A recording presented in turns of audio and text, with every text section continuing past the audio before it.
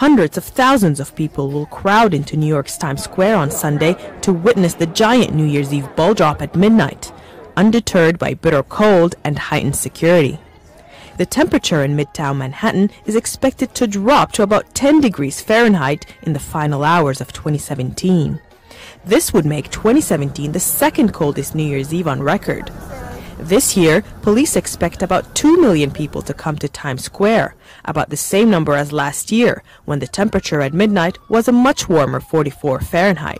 Thousands of police, including special undercover and observation teams, will be deployed as a show of force following two recent terror attacks in the city. Nick Jonas, Neil Diamond, and Mariah Carey are among the entertainers who will be performing live.